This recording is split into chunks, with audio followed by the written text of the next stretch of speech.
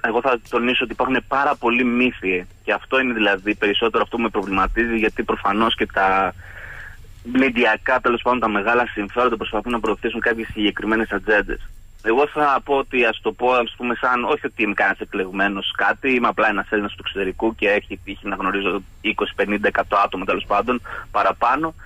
Ότι θέλω να πω ότι, νούμερο ένα καταρχήν, να πω ότι εγώ διαφωνώ με αυτή την έρευνα, ότι δηλαδή και καλά οι 500.000 ευρώ δεν γυρίζουν καθαρά για λόγους αμοιβών. Εγώ πιστεύω καταρχήν να πω ότι ο νούμερο ένα λόγος που θα γυρνούσε κάποιος από εμά πίσω είναι για να υποστηρίξει την οικογένειά του. Ενώ δηλαδή, άμα έχεις τον πατέρα σου, τη μητέρα σου να είναι σε μια λίγο μεγαλύτερη ηλικία και να χρειάζονται δηλαδή βοήθεια περισσότερο, επειδή προφανώς έχουμε αποδεχτεί ότι αυτό, αυτό το κράτος δεν υπάρχει περίπτωση. Εντάξει, να μην αναφέρουμε τώρα για νοσοκομεία, να μην αναφέρουμε για τίποτα, μιλάμε για αστέ υποδομές, πόσο μάλλον για γυροκομεία και πάει λέγοντας δηλαδή κάτι παραπάνω φροντίδα. Ο νούμερο ένας λόγος και σου, ο, ο, ο, ο μοναδικός λόγος που σα να κάνει να γυρίσεις είναι αυτός. Από εκεί πέρα, γενικά, να το πάρουμε ότι όσοι φύγαμε, φύγαμε για λόγο προοπτικής.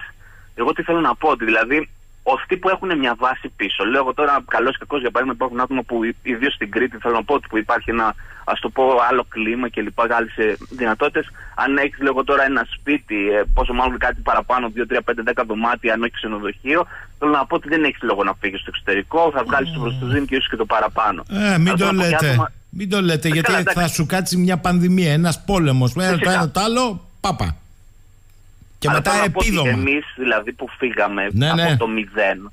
Α, αυτό ναι. δηλαδή, αν είχαμε μείνει στην Ελλάδα, δεν είχαμε στον ήλιο μοίρα. Θα ήμασταν μια ζωή υπάλληλοι να παρακαλάμε για τα 700, 800, 900 ευρώ, δεν ξέρω πόσο και καλά λένε ότι θα παίρναμε. Δεν θα αγοράζαμε σπίτι ποτέ. Θα δίναμε για το ενίκιο π.χ. το 60-70% από το μισθό μας. Και ποτέ τον ποτόνι δεν θα καταφέρναμε να αποκτήσουμε ούτε ένα σπίτι δικό μας. Φύγαμε στο εσωτερικό λοιπόν, βρήκαμε αξιοπρεπέστατες δουλειές. Κάποιοι έτσι, κάποιοι ζουν ακόμα και παλεύουν μέχρι να βρουν την καλύτερη ευκαιρία. Και φυσικά υπάρχουν και σοβαρά προγράμματα βοήθησης για να κάνει την αρχή να πάρεις μια νέα κατοικία και τέτοια. Και πολλοί έχουν καταφέρει να αγοράσουν ακόμα και σπίτι και στην Αγγλία και στη Γερμανία και στο Ντουμπάι και στην Αμερική και όπου θέλετε. Θα σταματήσω επειδή πάμε γρηγόρησα, συγγνώμη. Όχι, όχι, όχι. όχι. Ενδιαφέρον είναι να, ακούσω, να ακούσουμε εσάς. Λέει ο, ο Γιώργος από τη από το Εντσόμπινγκ το έμαθα. Στη Σουηδία, ο Γιώργος Αμανουσίδης. Αχ, βρέα Θεόφοβε, δεν με βοήθησες να το. Την προφορά με βοήθησε άλλος. Λοιπόν, καλημέρα λέει κύριε Σαχίνη σε εσάς και στον κύριο Πέτσα. Έφυγα το 11 σε ηλικία 43 ετών. Με ακολούθηση η γυναίκα μου 42. Μαζί τα δύο παιδιά μας, ηλικίες 13 και 3 αντίστοιχα. Σήμερα η κόρη μου είναι 26. Τι μετράνε, λες 500.000, ο γιος μου είναι 16. Θα τον μετρήσουν σε κάποια χρόνια. Ο γιος γεννήθηκε ε, Ελλάδα. Θέλω να πω κάτι σε όλους. Το νούμερο, είπα, δεν τα ακούσατε, επισήμως για τις λεγόμενες παραγωγικές ηλικίες. Και είπα και κάτι ακόμη. Είναι σίγουρο ότι είναι πολύ περισσότεροι και στα χρόνια που έχουν περάσει και είναι και πέραν των, παρα... των λεγόμενων οικονομικά παραγωγικών ηλικιών. Κόσμος, τώρα στη Γερμανία μου λένε 55 50 πάνε για ένα καλύτερο μεροκάμα του. Ελάτε κύριε Πέτσα. Έχετε απόλυτο δίκιο. Εγώ θέλω να πω ότι ιδίως καλά αυτός ο αριθμός είναι τέρμα πλασματικό, δεν έχει καμία σχέση με την πραγματικότητα. Καταρχήν να πούμε κάτι πολύ απλό. Ότι υπάρχουν πάρα πολλοί από εμάς που έχουμε παιδιά που πλέον έχουν αγγλικό, γερμανικό, διαβατήριο και πάει λέγοντας από όλα τα μέρη του κόσμου.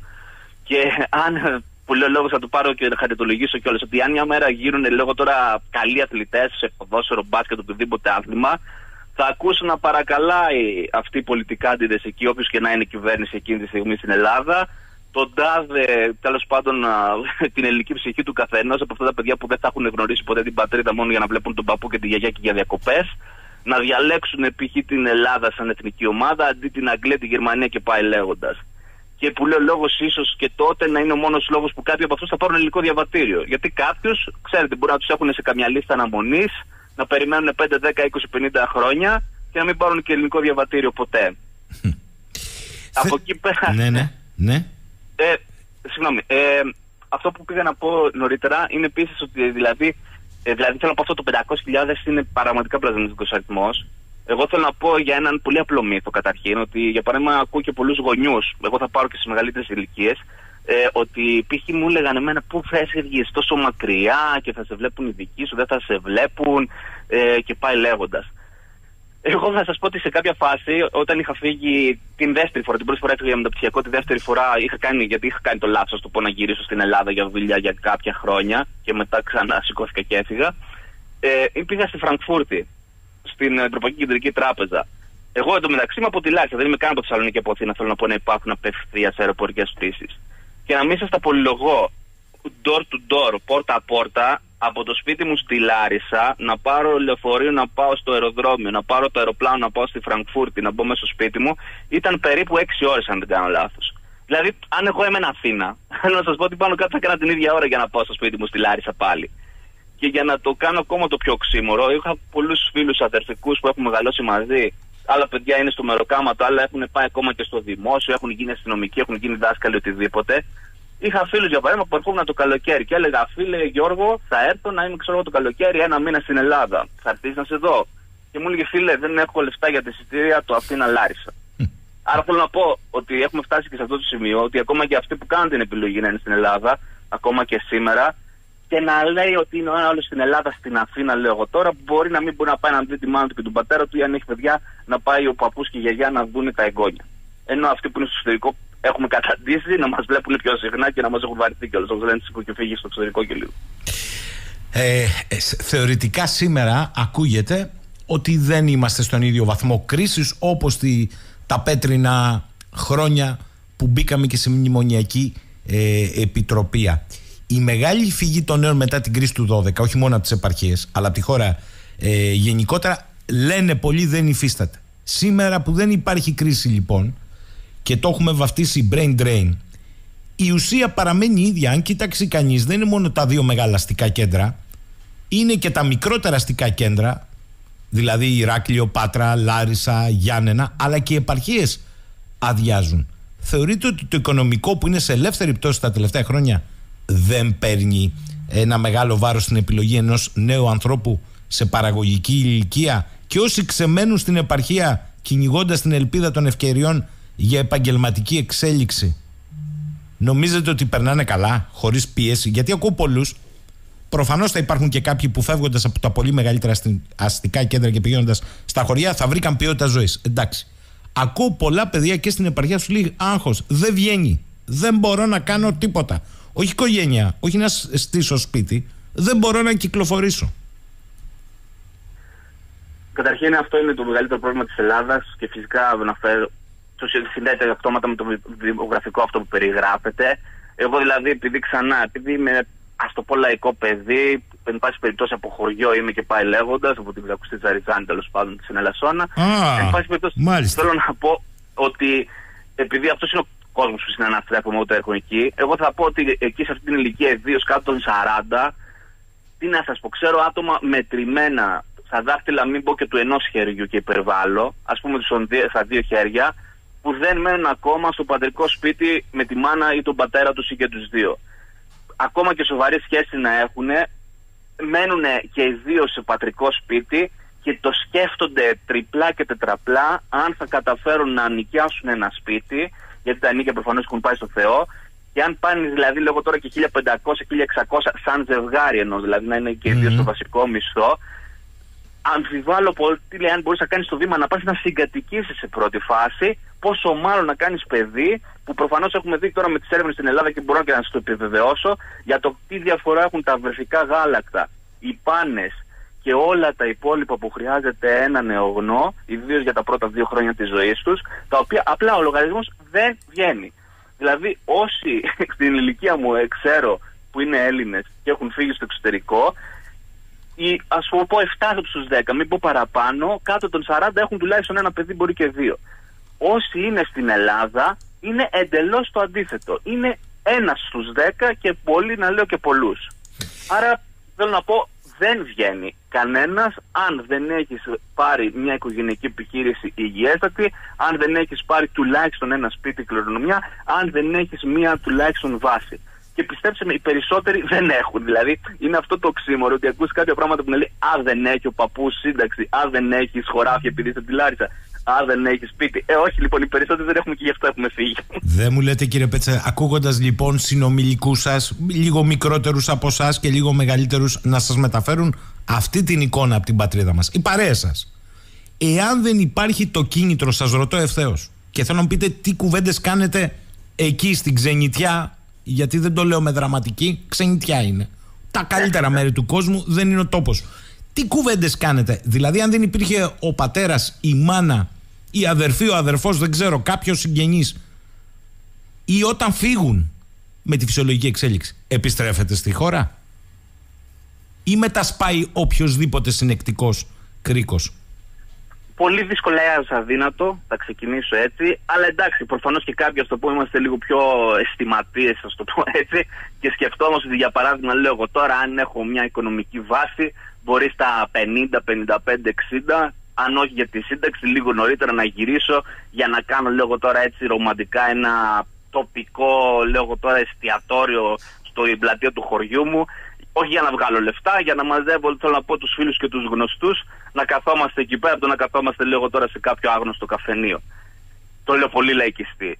Επίσης, να τονίσω κάτι, επειδή αυτό δεν το αγγίξαμε. Ότι θέλω να πω, επειδή ξεκινήσαμε από εκεί, για τα λεφτά που δεν μπορούν να βρουν οι Έλληνες. Εγώ θα σας πω ότι, όπως είπατε και εσείς, ίσως να έγινε και καλύτερη οικονομική κατάσταση στην Ελλάδα και ίσως να βρίσκεις και κάποιες καλές προσφορές, λέω εγώ τώρα, με 1000, με 1500, δεν ξέρω. Έχω ακούσει μισούς και 2000 δηλαδή να δίνουν στην Αθήνα. Αλλά θέλω να πω ότι έστω ότι π.χ. κάποιος βρίσκει σοβαρά λεφτά να γυρίσει στην Αθήνα και γυρνάει. Αν μετά από τρεις μήνες, έξι μήνες, 12 μήνες, μαλώσει με το αφεντικό για τον οποιοδήποτε λόγο θε να φύγεις από την επιχείρηση, τι εναλλακτικές έχεις.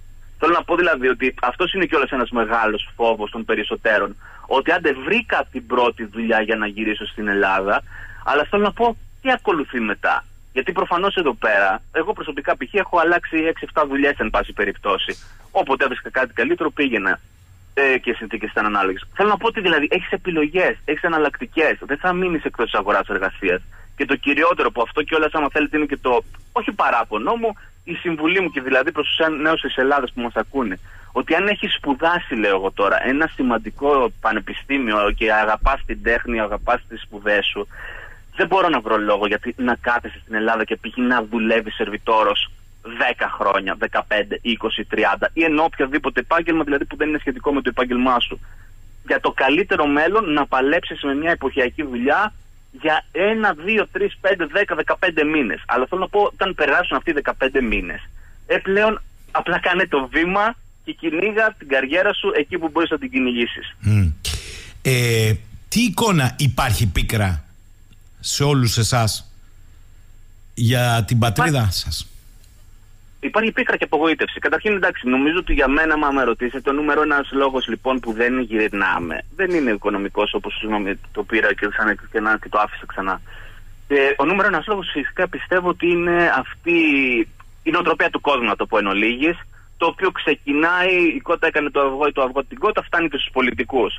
Δηλαδή, να κάνουμε μια σύντομη αναδρομή, λέω εγώ τώρα, για ποιοι είναι οι, οι ηγέτες τέλος πάντων που μας κυβερνούν και θέλουν να μας κυβερνήσουν. Δηλαδή, χωρίς να κοιτάσουμε κομματικά γυαλιά, εντάξει, προφανώς δεν θα αναφερθούμε τώρα σε Μητσοτάκη, Παπανδρέου και Γόνους και λοιπά, τους ξέρουμε. Μετά, εντάξει, συγγνώμη κιόλας αν κάποιοι τους συμπαθούν, ήταν ο Τσίπρας που άμα το δεις στεγνά, ανεξαρτήτως αν ήταν μεγάλος ηγέτης ή αν κατάφερε πολλά ή λίγα πράγματα σαν πρωθυπουργός, το βιογραφικό του έλεγε ότι είναι ένας καταληψίας από το Λύκειο που ήταν καταληψίας στο Πανεπιστήμιο και μετά έφτασε να γίνει πρωθυπουργός. Μετά ο τρίτος, ο Ανδρουλάκης, είναι ένας εκβιαζόμενος, ας το πούμε, εν ολίγης, που ακόμα και σήμερα δηλαδή, αν δεν κάνω λάθος, δεν έχει κάνει μήνυση σε αυτούς που τον παρακολουθούσαν. Και να το πάρουμε και απλά, δεν έχει, αν δεν κάνω λάθος, δουλέψει μια μέρα στη ζωή του. Ήταν παιδί από τον κομματικό Σολίνα, μετά έγινε ευρωβουλευτής και μετά έγινε και αυτός αρχηγός τέλος πάντων του τρίτου κόμματος. Και τώρα έτσι τέλος πάντων ένας άλλος που ας το πούμε αυτός μας προσεγγίζει, γιατί το παίζει Έλληνας του εξωτερικού τέλος πάντων. Που εντάξει, θα με, θα με αμφιβάλλω για πολλά πράγματα. Που εν πάση περιπτώσει θέλει να μας αποδείξει τώρα, λέει ότι αυτός που είναι αριστερός, ασχέτως αν ήταν δισεκατομμυρίουχος, εκατομμυρίουχος, δεν ξέρω και εγώ τι είναι, που να κάνω μια πολύ μικρή παρένθεση, όλοι οι Έλληνες του εξωτερικού τουλάχιστον που κάνουν σοβαρή καριέρα, υπάρχει κάτι που λέγεται LinkedIn δεν ξέρω πόσο είναι ακουστό στην Ελλάδα. Κάποιοι το ξέρουν, κάποιοι δεν το ξέρουν. Το οποίο είναι στην ουσία το βιογραφικό σου. Αν πας και στιγμή, άμα κάνει κάποιος αναζήτηση Αντώνης Πέτσας, θα δει που έχει δουλέψει ο Αντώνης Πέτσα από πότε μέχρι τότε και πολλές εταιρείες που δουλεύουμε, πολυεθνικές κυρίως, δεν θα σε προσλάβουν καν, δεν σε παίρνουν στα σοβαρά αν δεν έχεις προφίλ στο LinkedIn. Εγώ θα σας το πω, μόνο ο κ. Κασελάκης δεν έχει LinkedIn. Και γι' αυτό το άτομο λοιπόν που το παίζει τραπεζίτη. Αν δεν κάνω λάθος, δεν έχω ακούσει σε καμία του συνέντευξη μέχρι σήμερα να τον ρωτάει ένας πόσο καιρό δούλεψε σε τράπεζα, φίλε; Ήτανε τρεις μήνες, ήταν έξι, ήταν δεκαπέντε; Γιατί δεν νομίζω ότι τέλος πάντων. Εν πάση περιπτώσει είναι ένα άτομο το οποίο ήρθε να μας κυβερνήσει, λοιπόν, λέει θα γίνει πρωθυπουργός και ακόμα και σήμερα τον ρωτάς, έχεις επιχειρήσεις, ε, κάτι έχω, λίγο δεν έχω. Τις έχεις πουλήσει, ε, κάποιος πούλησε, κάποιος δεν Θέλω πω, ακόμα και σήμερα δεν μπορεί να μας δώσει δύο βασικές απαντήσεις σε δύο βασικές ερωτήσεις και θεωρούμε λοιπόν ότι όλο αυτό το σύστημα λοιπόν ανακεφαλαιώνοντας ότι θα μας σώσει και θα μας φέρει και τους υπόλοιπους πίσω για ένα τέτοιο. Συγγνώμη, αλλά θέλω να πω εν ολίγης ότι και το μήνυμα των εκλογών από ό,τι φαίνεται για τους δικούς τους λόγους δεν το έχει πάρει κανένας. Γιατί πιστεύω ότι ακόμα και σήμερα εν ολίγης δεν υπάρχει ένας σοβαρός ηγέτης που να έχει δουλέψει 5, 10, 20 χρόνια σε, σε οποιαδήποτε εργασία, να ξεκινήσω έτσι, που να μπορεί να εμπνεύσει να ασχοληθεί με την πολιτική και να μας πείσει κιόλας και εμάς, και αυτούς που είναι στην Ελλάδα και αυτούς που είναι έξω, ότι κάτι καινούριο, κάτι καλύτερο μέλλον έρχεται.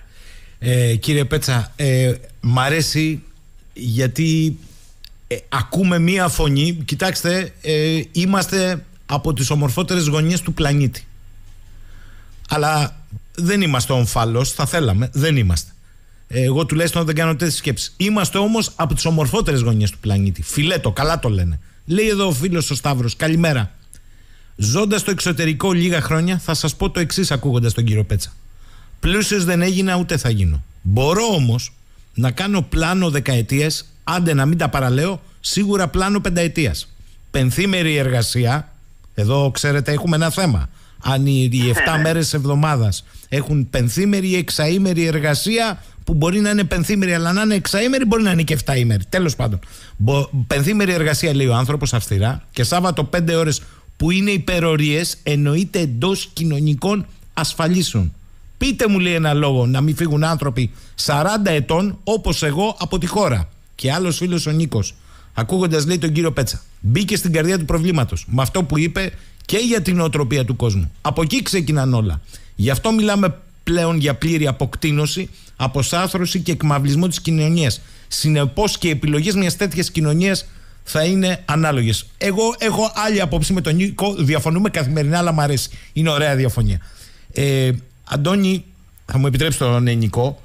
Ναι, ναι. Ε, θέλω να σε ρωτήσω γίνονται συζητήσεις στις παρέες συνομιλίκων σου και λίγο μεγαλύτερων για την κατάσταση στη χώρα. Μπαίνει το ερώτημα τι να κάναμε ρε παιδί μου για να μπορούμε να επιστρέψουμε με πιο μόνιμα χαρακτηριστικά. Γιατί υπάρχει και κόσμος που ανοίγει τα φτερά του και είναι επιλογή του. Δεν θέλει να γυρίσει. Και η καλύτερη χώρα να ήταν δεν θα γύριζε. Αλλά υπάρχει και κόσμος γιατί πρέπει να το πω αυτό στο, στα ξένα δεν σημαίνει ότι περνάτε καλύτερα ζωή και κότα. Θέλει κόπο, έχει σκληρό ανταγωνισμό, έχει και εκεί τα στρεβλά και τα στραβά, έχει και άλλες αντιλήψεις, άλλες καλές, άλλες όχι τόσο καλές.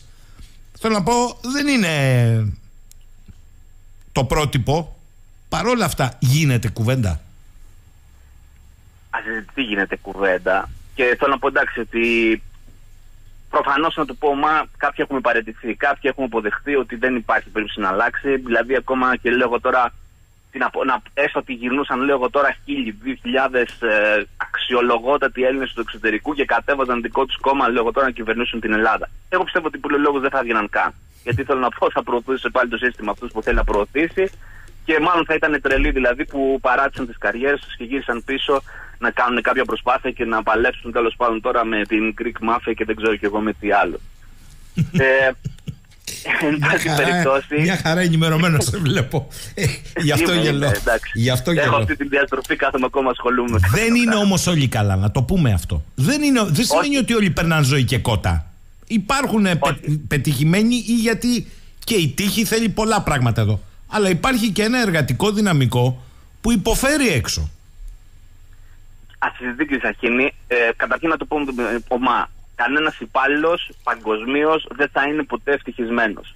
Πάντα θα θες να δουλέψεις λιγότερες ώρες, πάντα θα θες να πάρεις περισσότερα λεφτά, πάντα ο σημερινός μάνατζερ θα σου φαίνεται λίγο χειρότερος από τον προηγούμενο ή ελπίζεις ότι αύριο θα έχεις έναν καλύτερο. Θέλω να πω, κανένας μας δεν είναι 1000% ευχαριστημένος πουθενά. Αλλά αν επικεντρωθούμε λίγο στα σοβαρά πράγματα της ζωής, Εγώ θα ξεκινήσω από το πιο απλό ότι όπου και να είσαι στο εξωτερικό, αυτό που λέμε ο βασικός μισθός, σου φτάνει για να ζεις αξιοπρεπώς. Ξεκινάω από αυτό. Δηλαδή, ακόμα και σερβιτόρος να είσαι στην Αγγλία, ακόμα και σε αποθήκη της Amazon να δουλεύεις, που οι συνθήκες λένε ότι τουλάχιστον δεν είναι οι κατάλληλες, πολλοί διαμαρτύρονται για αυτές και υπάρχουν πολλά αυτά παγκοσμίως, εν πάση περιπτώσει. Πάλι τα λεφτά σου φτάνουν και για να μένεις στο δικό σου σπίτι με νίκιο και για να βρεις μια σύζυγο, ένα σύντροφο και να κάνετε οικογένεια και πάει λέγοντας. Ο βασικός μισθός στην Ελλάδα δεν σου φτάνει ούτε για να επιβιώσεις μόνος σου και μην μιλήσουμε τώρα για πολυτέλειε του στυλ να έχεις αυτοκίνητο και να συντηρείς αυτοκίνητο και να πας διακοπές. Αυτά δηλαδή πραγματικά, αν δεν έχεις να τσοντάρει ο παππούς στη σύνταξη, δεν βγαίνεις για κανένα λόγο. Κύριε Πέτσα, λέει εδώ πέρα ένας ε, φίλος ο Γιώργος, λέει το εξής. Ε, φοβάμαι λέει ότι όσα λέει ο, ο φίλος μας ο Αντώνης αποκαλύπτουν την τέλεια και φοβάμαι ανίατη παθογένεια αυτής της όμορφης πληνάθλιας πατρίδας. Είμαι πατέρας, λέει, 36χρονου δίπλο πτυχιούχου, δουλεύει στην εκπαίδευση με 800 ευρώ και παλεύει να μείνει εδώ με κατάθλιψη όμως. Ε. Άρα επιβεβαιώνει αυτό που λέγατε. Από την άλλη, θλίψη υπάρχει και σε εσάς. Έξω. Έτσι δεν είναι, ή κάνω λάθος; Κοιτάξτε, εγώ προσωπικά. Δεν μιλάω προσωπικά. Ναι, ναι, δεν ναι, μιλάω. Αλλά θέλω να πω ότι προφανώς θέλω να πω ότι υπάρχουν και άτομα τα οποία δεν την παλεύουν, δεν ε, ε αντέχουν αυτές τις συνθήκες από ένα σημείο και μετά. Εντάξει, να σας πω και χαριτολογώντα μια ιστορία, ήταν μια φίλη μου από τη Σουηδία που γυρνούσε δηλαδή διακοπές Ελλάδα και τέτοια και του ρωτούσαν στι παρέε, λέει πώς την παλεύεις εκεί στη Μαυρίλα, στο ένα τάλο. Και γυρνάει και είπε μια πολύ απλή κουβέντα. Λέει ακόμα και τις ε, μέρες του μήνα που έχει λίγο βρα που βραδιάζει λίγο περισσότερο, είναι πιο σκοτεινά, που δεν έχει τόσο ήλιο και έχει κρύο. Ανοίγω, λέει, κοιτάω το υπόλοιπό μου στο λογαριασμό στην τράπεζα και όλα ομορφαίνουν. Θέλω να πω δηλαδή ότι ε, υπάρχουν και κάποια πράγματα που κάνουν πολύ καλύτερη τη ζωή σου. Και δεν είναι προφανώς μόνο τα λεφτά, είναι η αξιοπρέπεια, είναι η αυτοεκτίμηση. Να πω και άλλη μια, ένα προσωπικό βίωμα, μια πολύ σύντομη ιστορία. Εγώ, για παράδειγμα, σε κάποια φάση είχα γυρίσει και δούλευα στην Ελλάδα και πήγαινα και για συνεντεύξεις σε διάφορες, ας το πω, σοβαρές εταιρείες τουλάχιστον στα χαρτιά. Δεν μπορείτε να φανταστείτε τι έχω δει. Να πω ότι έχω μπει σε ημιόροφο που το έπαιζε μεγάλη εταιρεία marketing και ήταν, ξέρετε, τώρα πλασιά να μοιράζουν φυλάδια.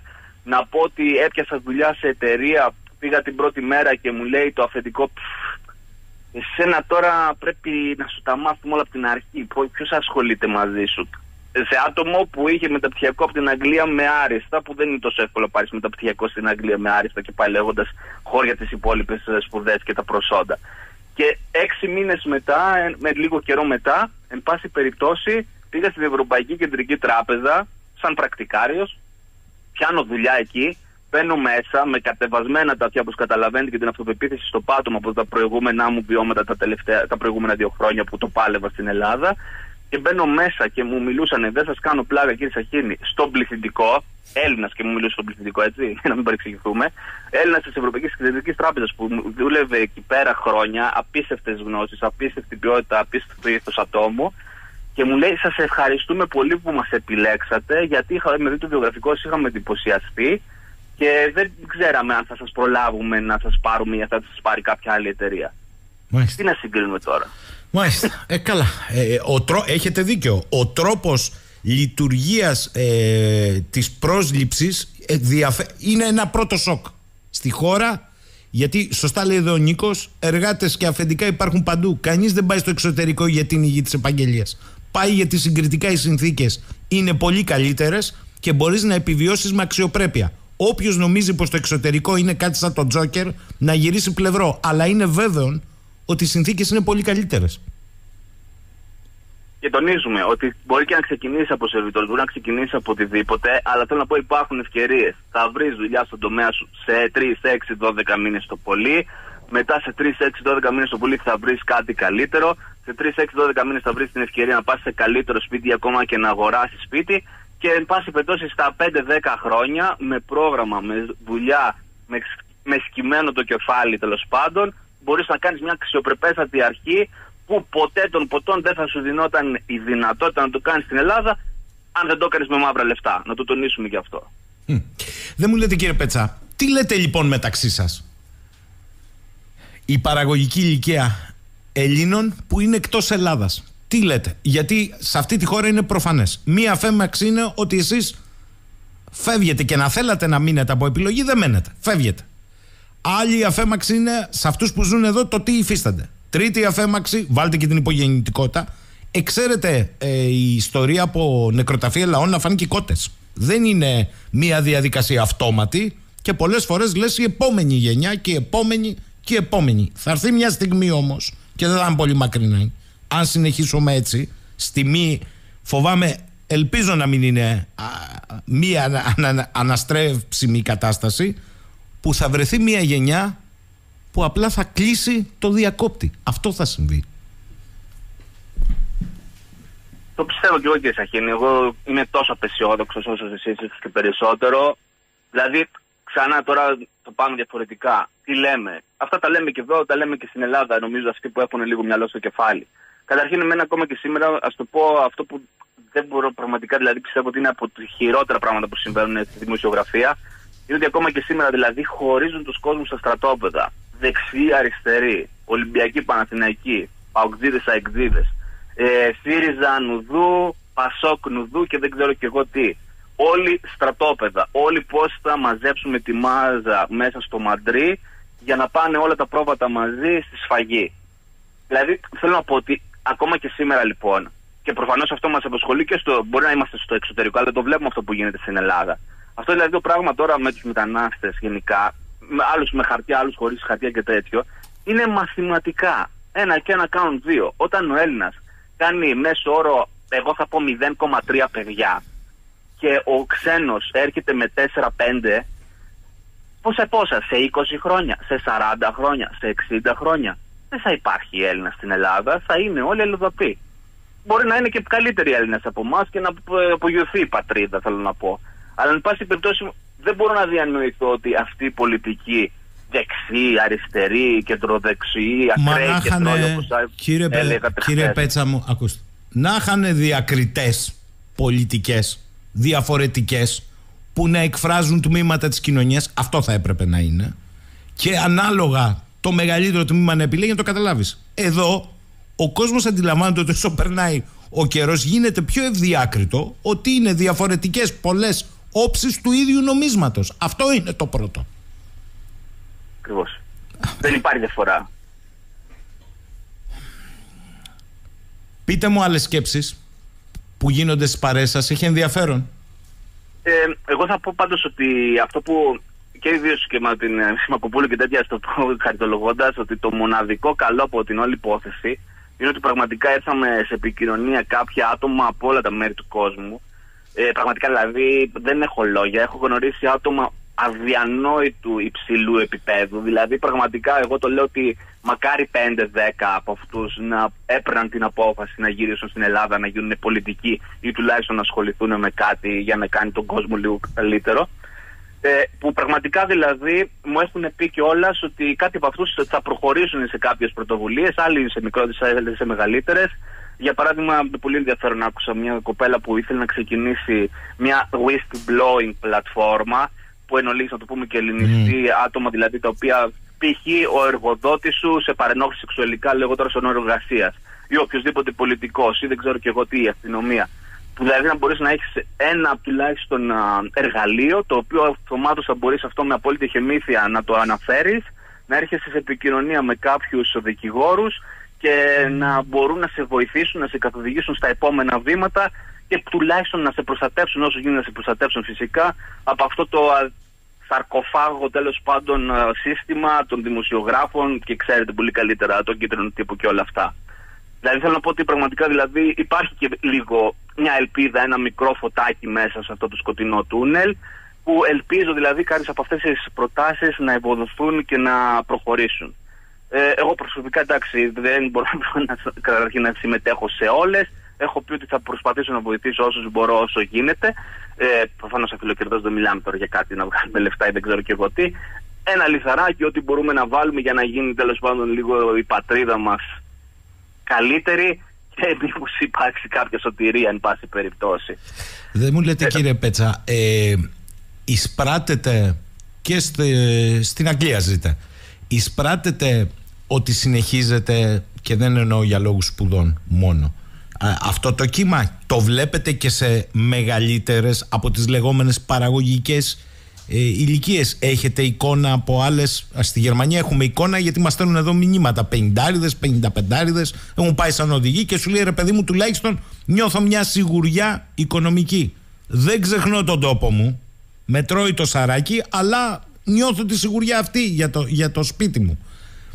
Έχει, συνεχίζεται αυτή η τάση; Ναι, δεν υπάρχει. Εντάξει, θα πω καταρχήν επειδή ξέρετε λόγω Brexit και λοιπά, έπεσε λίγο το κύμα της ροής. Δεν είναι δηλαδή τόσο εύκολο να έρθεις όπως ερχόσουν πριν 5-6 χρόνια, πριν το Brexit.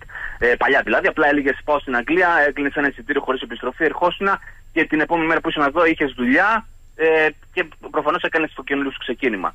Τώρα, επειδή πρέπει πρώτα να έχεις υπογεγραμμένο συμβόλαιο με χορηγό και πάει λέγοντας, είναι λίγο πιο δύσκολο. Φυσικά όμως αυτό δεν σταματάει. Θέλω να πω ότι ο Έλληνας πάντα θα βρει τη λύση άμα θέλει να την κάνει. Ε, σίγουρα είναι πιο εύκολο να πας στη Γερμανία για παράδειγμα ή στην Ελβετία και στη Γαλλία και στο Βέλγιο ακόμα.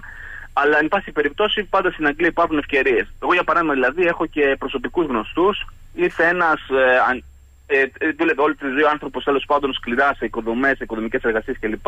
Άνω των 65 δηλαδή και μετακόμισε δηλαδή με την οικογένειά του, με τη γυναίκα του δηλαδή που ήταν συνταξιούχη στην ουσία στην Ελλάδα και έκανε ξεκαινούριο ξεκίνημα εδώ και μετά ήρθαν και τα παιδιά του και θέλω να πω τώρα οι άνθρωποι δηλαδή έχουν στην ουσία μετικήσει ολόκληρη ε, η οικογένεια, 10 άτομα και και έχουν κάνει ένα καταπληκτικό ξεκίνημα εδώ πέρα και όλο στο Μπέρμιχαμ, στο εξωτικό Μπέρμιχαμ που βρισκόμαστε.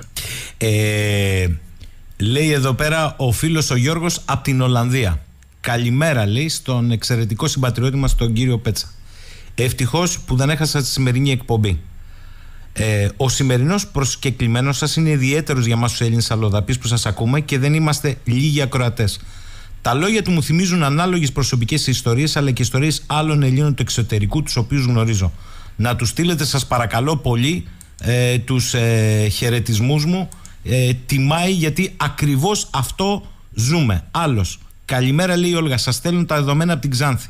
Ξέρω τρία αδέρφια. Έφυγαν στη Σουηδία πριν δύο χρόνια, ετών 30-35. Ξαδέρφια μου στη Γερμανία, σύνολο τέσσερις ενήλικες και πέντε παιδιά. Και το δικό μου προσωπικό σύζυγός μου είναι γιατρός, έχει να δουλέψει στο νοσοκομείο δύο χρόνια. Ψάχνει εργασία στο εξωτερικό. Και φυσικό επακόλουθα, αν φύγει, να τον ακολουθήσει και όλη η οικογένεια.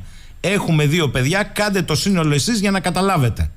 Ε, η Σοφία λέει να πείτε στον κύριο Λαβρέτζο ότι αυτοί που ενδιαφέρονται για το δημογραφικό και συνεχώς δημοσιεύουν μελέτες πρέπει να αρχίζουν να τονίζουν ότι το μόνο εφικτό βήμα είναι η δημιουργία κινήτρων για να επιστρέψουν όλα τα Ελληνόπουλα που είναι στο εξωτερικό. Ο Χαράλαμπος λέει: Ο κύριος Πέτσας λέει σωστά πράγματα, αλλά δεν είναι μόνο τα χρήματα. Η σαπίλα του συστήματος, οι εργασιακές σχέσεις, τάπε.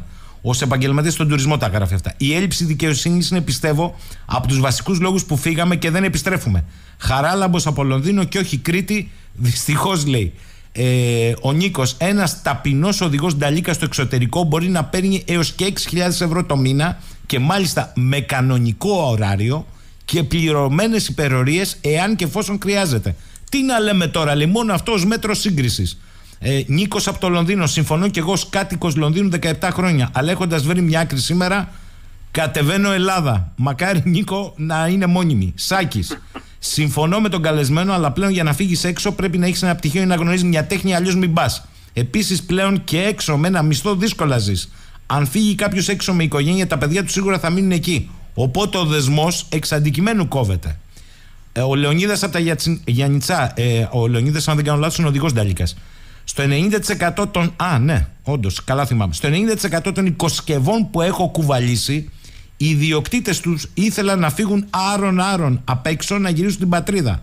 Αλλά και αυτοί που παραμένουν το μεγαλύτερο ποσοστό θέλουν να φύγουν. Υπομονή κάνουν διότι είναι τα χρήματα. Ο Σπύρος Όπως τα λέει, είναι, είδα χθες τον κυβερνήτη της χώρας στη Σύνοδο του ΝΑΤΟ και γέλαγε συνέχεια. Ήταν ασορτή με την τέλεια χώρα που έχουν φτιάξει όλη οι πολιτικοί.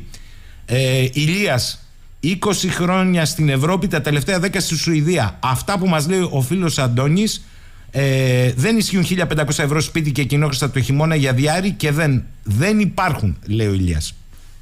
Ε, συγγνώμη, το 1500 μιλάω σε συγκεκριμένες αγορές. Προφανώς όχι σε Σουηδία, όχι σε Λονδίνο. Λέω π.χ. τώρα στην Αγγλία για Μπέρμιχαμ και πάει λέγοντας. Ναι, Προφανώ ναι, ναι. κατά τρόπο κοινωνίε έχουν το δικό τους βασικό εννοείται, και τα δικά τους κόστη, έτσι. Ε, ναι. Βλέπετε όμως το κλίμα δεν απέχει από αυτά που περιγράφετε, κύριε Πέτσα μου. Ε, ναι, φυσικά. Και όλοι λένε, προφανώς, ποιος θα ήθελε να φύγει από τον τόπο. Εγώ το, επανάλ, θα το επαναλάβω. Γιατί ε, πιστεύει κανείς ότι ο κύριος Πέτσα ανήκει άλλες συνθήκες; Και όχι μόνο οικονομικές και τα άλλα που είπε ο φίλος. Αξιοκρατία, αξιοπρέπεια, δικαιοσύνη, το ένα και το άλλο, συστήματα στοιχειοδό. Θα έφευγε από την Τζαριτσάνη. Τώρα γιατί να μην κινδυνεύσει να βουλιάξει; Δεν κατάλαβα. Ακριβώς και να το πούμε εν ολίγη καταρχήν όπως το είπατε πάρα πολύ καλά, συμφωνώ απόλυτα με τον, όπως καταλάβατε με τον προηγούμενο που έστειλε αυτό το μήνυμα. Τα λεφτά είναι που λέει λόγος, το πέμπτος λόγος, η νοοτροπία του κόσμου, του συστήματος και πάλι λέγοντας είναι το βασικό. Και το κυριότερο λοιπόν είναι ότι δεν μπορείς να κάνεις ξεκίνημα, δεν μπορείς να σταθείς στα πόδια σου αν δεν έχεις κάποια πολύ δυνατή βάση από πίσω να στηριχθεί. Και να το πούμε έτσι απλά, έχουν κλείσει όλες τις πόρτες από πού θέλετε να το πάρουμε, να το πάρουμε για ιδιωτικό τομέα, που άμα δεν είναι ο γνωστός δεν θα μπει στον ιδιωτικό τομέα, να το πούμε για ακαδημαϊκό τομέα, δηλαδή για διδακτορικά, για μεταπτυχιακά. Καταρχήν τα διδακτορικά στο εξωτερικό, στα περισσότερα μέρη του κόσμου πληρώνονται με πολύ σωστές απολαυές, τουλάχιστον να μπορείς να βγάλεις τα προστουζήν μέχρι να τελειώσεις. Και με το που τελειώσει το διδακτορικό είναι σχετικά εφικτό, όχι εύκολο, αλλά είναι εφικτό να βρεις μια ε, θέση κανονική σε κανονικό πανεπιστήμιο με καλό όνομα και να σε βοηθάει να κάνεις το έργο σου κλπ. Και, και να ξεκινήσεις λοιπόν την καριέρα αυτή τη δύσκολη σαν καθηγητής πανεπιστημίου. Ποιος καθηγητής πανεπιστημίου μπορεί να πάει στην Ελλάδα με ό,τι διδακτορικό και να έχει κάνει, με ό,τι τεράστιο έργο και να κάνει, αν δεν έχει θείο ή γονιό καθηγητή πανεπιστημίου; Ε, δηλαδή... Να σας το πω εγώ πιο σχηματικά. Εάν αυτό που περιγράφεται έξω, το, το ασφαλές κριτήριο είναι τα credits σου και το βιογραφικό σου. Στην Ελλάδα είναι ανάποδα. Ποιος έστειλε; Το ξέρεις. και μετά πάμε στο ξέρεις ποιος είμαι εγώ. Ε, θέλω, να κλείσουμε, θέλω να κλείσουμε με ένα μήνυμα που στέλνει α, ο κύριος Πικραμένος. Σας ακούει, λέει καλημέρα από τη Μασαλία. Θέλω, λέει, να κάνω την εξής ερώτηση. Με το δυναμικό, είναι απλή η ερώτησή του, που υπάρχει έξω από την πατρίδα μας. Αν το κράτος μας δεν ήταν οίκος ανοχής, δεν θα έπρεπε τουλάχιστον να προσεγγίζει με ένα σταθερό σύστημα για να αξιοποιήσει τη διασπορά για συλλογή πληροφοριών, τεχνογνωσία, επενδύσεις, κουλτούρα. Τους προσεγγίζει λέει κανείς από το επίσημο ελληνικό κράτος. Σας προσεγγίζει κανείς; Τώρα και δεν θέλω να το κάνω. Μας προσέγγισε η κυρία Σιμακοπούλου με τα email που μας έστειλε. μάλιστα, μάλιστα. Εν πάση περιπτώσει, όχι. Δηλαδή, πραγματικά ε, και συμφωνώ απόλυτα με το Κολομβία με ωμέγα 2-0. Την άκουσα τη συνομιλία σας. Ε, εν πάση περιπτώσει θέλω να πω ότι όχι πραγματικά ε, μηδενικό σχέδιο πώς να γυρίσουμε. Ε, να τονίσουμε και κάτι, δεν ξέρω για πόσους το ξέρουν, ε, για αυτό το καταπληκτικό σχέδιο Μητσοτάκη για 7 χρόνια 50% ε, φοροέκπτωση στους ε, κάτοικους του εξωτερικού που θα γυρίσουμε πίσω. Πιστεύω ότι εντάξει έχει τώρα 3-4 χρόνια που εφαρμόζεται πιστεύω ότι είναι ακόμα ένα τραγικό μέτρο που δηλαδή πραγματικά δηλαδή δεν το έχουμε ανάγκη, δεν το επιζητεί κανείς και γι' αυτό κιόλας ε, έχει πάει στον κάλαθο των αχρήστων τόσο επιτυχημένο είναι γιατί κανένας το πάνω δεν γυρνάει. Δηλαδή πραγματικά αντί να βοηθήσεις αυτούς που έχουν βάλει πλάτη που όλα αυτά τα χρόνια προσπαθούν να ορθοποδήσουν και καλό και κακό το παλεύουν ακόμα στην Ελλάδα, προσπαθήσει να πείσεις ποιους να γυρίσουν, που στην τελική να το πούμε έτσι, ομά, αυτοί που θα το χρησιμοποιήσουν θα είναι π.χ. λέγω τώρα οποιοδήποτε γιος βιομηχάνου που όντως έφυγε για 2-3-5 χρόνια έξω μέχρι να πληρεί τις ε, συνθήκες και μετά θα γυρίσει και θα το εκμεταλλευτεί για να βγάλει ακόμα περισσότερα εκατομμύρια. Τώρα εντάξει, πραγματικά δηλαδή αν παίζεις 10-20 χιλιάρικα και γλιτώσεις το ένα, ναι εντάξει, μπορεί να είναι οι πάνες, λέω εγώ τώρα, για 6 μήνες, αλλά εντάξει, δεν είναι δηλαδή, θέλω να πω ότι σοβαρό κίνητρο για να γυρίσει κάποιος πίσω. Άμα θέλετε να πούμε ένα πολύ απλό κίνητρο που εγώ θα το έλεγα για όλη την ναι, Ελλάδα, ναι. μόνο για τους κατοίκους ναι. είναι αυτό που κάνει η Ιταλία. Δεν ξέρω αν το είχατε ακούσει με τα παλιά τα σπίτια, στα διατηρητέα, τα, τα συγγνώμη, ιδίως ε, ε, κατά κάποια ε, ε, συγγνώμη, ε, βουνά, κάποια μικρά χωριά και πάει λέγοντας. Ναι, ναι, ναι. Με ένα ευρώ να αγοράσεις αυτό το σπίτι, να δεσμευτείς ότι θα το κάνεις προφανώς αναπαλαίωση, θα το κάνεις λειτουργικό και θα πας να μείνεις π.χ. εκεί με την οικογένειά σου για 10 χρόνια. Τι ακούσατε τέτοιο για να τονωθεί η επαρχία και ο, να μην πάνε όλοι στην Αθήνα και να πληρώνουν νίκιο, δεν ξέρω και εγώ τι, ένα και ένα μισή χιλιάρικο. Αχ, κύριε Πέτση. Θέλω να ακούσετε ένα τελευταίο μήνυμα, αφού σας ευχαριστήσω για τη συνομιλία σήμερα. Ε, μου το έστειλε η Αγγέλα από έναν φίλο ακροατή. Λέει, πόνος ψυχής, λέει ο ακροατής, αυτά που λέγονται. Θέλω να καταθέσω το εξής. Το παιδί μου λείπει 18 χρόνια. Έφυγε για σπουδές και δεν ξαναγύρισε γιατί δεν μπορεί να ζήσει με τον ήλιο και τη θάλασσα μόνο όπως μου λέει. Καταλαβαίνετε, είναι και οι γονείς που μένουν πίσω. Φυσικά.